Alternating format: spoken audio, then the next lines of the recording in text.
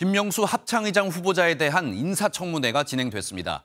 자녀의 학교 폭력 의혹의 주식 거래, 또 북한 도발 상황에서 골프를 친 의혹까지 불거졌는데요. 심지어 여당에서도 비판이 나오며 김 후보자가 거듭 사과했고 민주당은 지명 철회를 요구하고 있습니다. 안병수 기자입니다. 김명수 합참의장 후보자는 청문회 내내 고개를 숙였습니다. 자녀의 학교 폭력 문제뿐만 아니라 지난 2022년 북한 도발 당시 골프장을 방문하고 휴대전화로 주식 거래를 했다는 의혹 등으로 거센 비판을 받았던 탓입니다.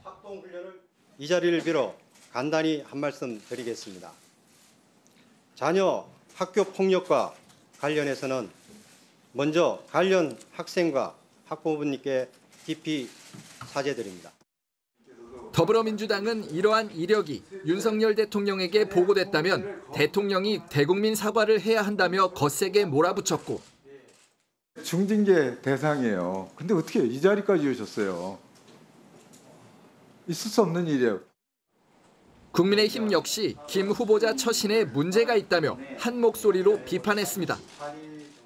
군의 고위 간부로서 그 그런 국가적인 위기 상황에서 그 처신으로서는 부적절하다고 생각을 합니다. 인정하십니까?